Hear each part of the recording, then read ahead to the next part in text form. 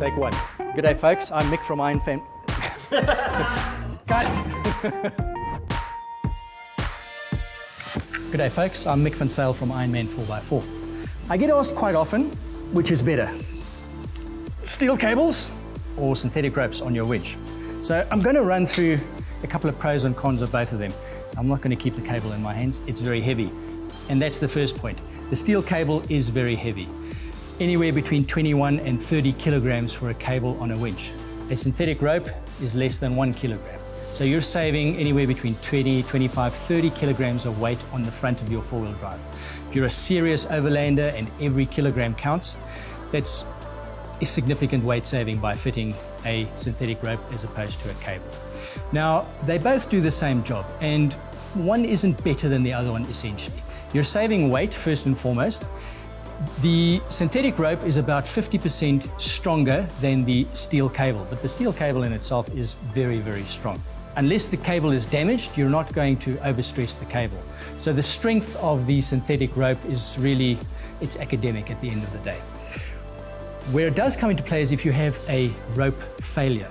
Bear in mind that when you're winching with a winch cable, the cable will actually stretch. And if you have a cable failure, that cable will come whipping through the air. And if there are any bystanders in the way, they can get seriously injured. So always make sure that there are no bystanders around when you're winching and always use a winch damper blanket. Whether you're winching with a cable or with a rope, definitely use a winch damper blanket or two if you can. With a synthetic rope, the rope actually doesn't stretch and if it should snap, it'll just drop down to the ground. But notwithstanding that, always use a winch damper blanket. Another advantage of the synthetic rope is that should the rope snap, you can splice the rope, in other words, uh, attach the two pieces together, or even just make a knot in it, and you can continue your winch recovery. If your steel cable, however, snaps, you can't make a knot in it. And there's no way in which you can attach the end that snapped back onto the drum of the winch. So the winching is pretty much done for the day. So those are the basic differences between the cable and the winch rope, the synthetic rope.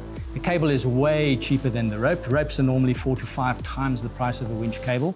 So if you're looking to save money, cable is the way to go. If you're looking to save weight, the synthetic rope is the way to go. Those are the basic pros and cons of both of these.